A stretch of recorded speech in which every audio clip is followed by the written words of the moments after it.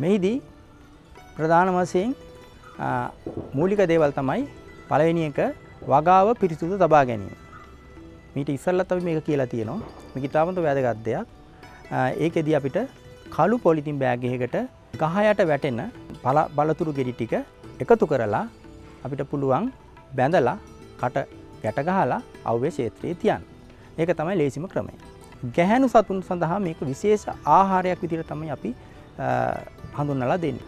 අලුතින් ඉගිල්ලයින මැස්සෝ පළතුරු මැස්සියන් ඒගොල්ලෝ ආහාරයක් අවශ්‍යයි ප්‍රෝටීන සහිත ආහාරයක් ඒගොල්ලන්ගේ බිත්තර දැමීම සිදු කරන්න. අපි මෙහිදි කරන්නේ කෘතිීමව මේ ආහාරය ඒගොල්ලන්ට ලබා දෙනවා. එතකොට මේ ආහාරයට ඒගොල්ලො ඇදිල ඇවිල්ලා මරණයට පත්වෙනවා බිත්තර දැමීමට පෙර. ඇතරම දැ වෙළඳ පොලේ ගන්න තියනෝගොල්ලන්ට ඒකම ස්පිනෝසාට් සක්සස් කියන වෙළඳ නාමයෙන් තියෙන කෘමිනාසකයක් එක සමඟ මිශ්‍ර මේ බෝතල් දෙකක් විදිහට තියෙනවා.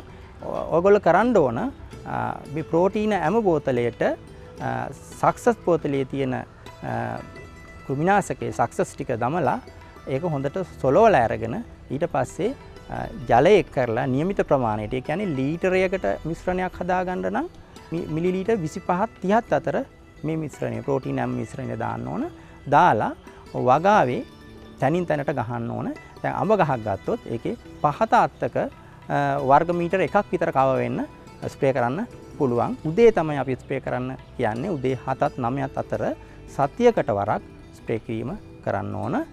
මෙහිදී ඉස්සර වෙලාම අඹ යම්කිසි ප්‍රමාණයකට ලොකුවීගෙන එනකොට කියන මාසයක් මාස එක හමාරක් විතර අඹ ගෙඩිය එනකොට තමයි ප්‍රෝටීන් ඇම යෙදීම ස්පේකිරීම පටන් ගන්න ඕන.